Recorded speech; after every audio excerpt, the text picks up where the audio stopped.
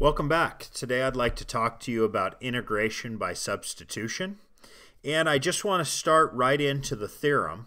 And the theorem says let's have three functions, f, g, and u, all be differentiable functions of x such that f of x is equal to g of u times du dx. In other words, the derivative of u with respect to x.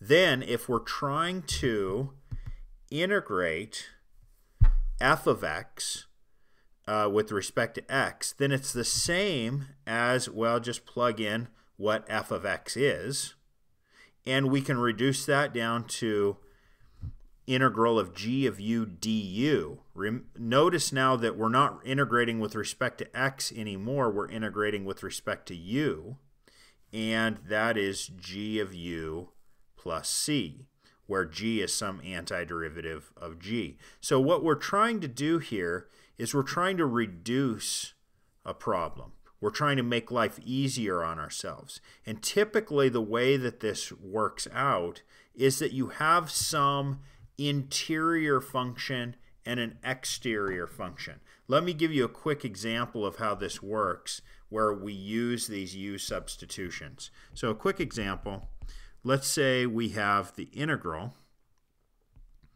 of uh, x squared plus 3x plus 5 to the eighth times 2x plus 3 dx. Now, first of all, we could do this by just uh, multiplying x squared plus 3x plus 5 out 8 times, and then multiplying by 2x plus 3, and then taking an antiderivative.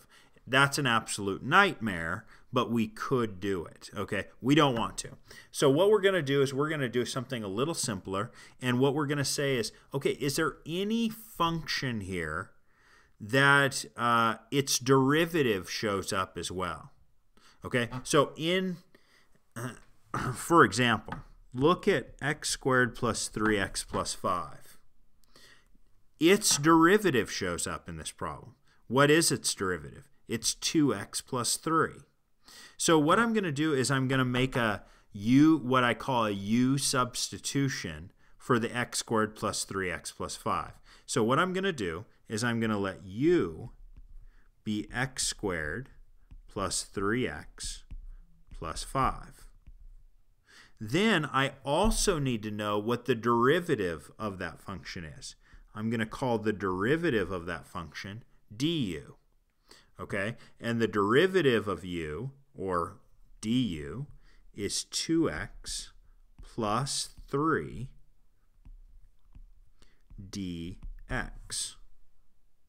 All right. So what I'm going to do is notice again, come back up here. Maybe I'll grab a different color really quick. Um, okay.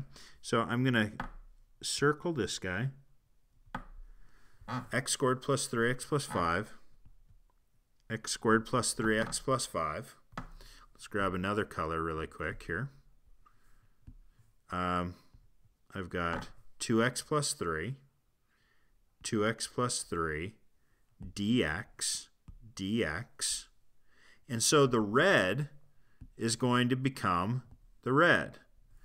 And the blue is going to become the blue. So what is x squared plus 3x plus 5? That is otherwise known as u.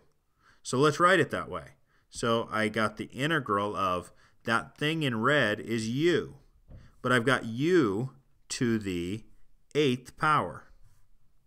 And the 2x plus 3 dx, all the blue stuff, 2x plus 3 dx, that is otherwise known as du.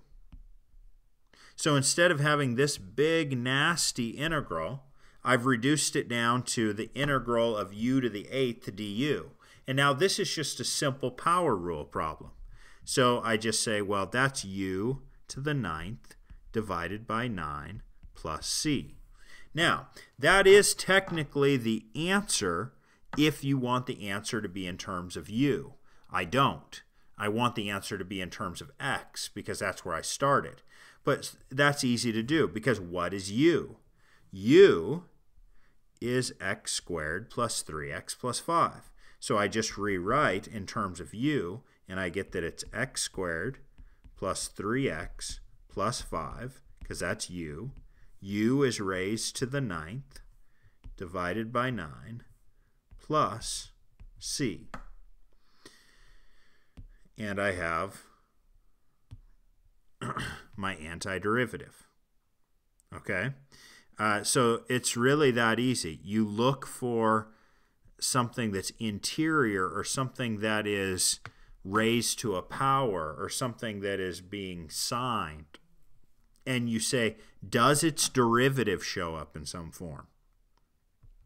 If the answer is yes, then that's a good time to use a u substitution to really make your life a lot easier and put the integral into a form that you can actually integrate. This process is called substitution, or often it's called u substitution. Okay, let's look at some more examples of u substitution.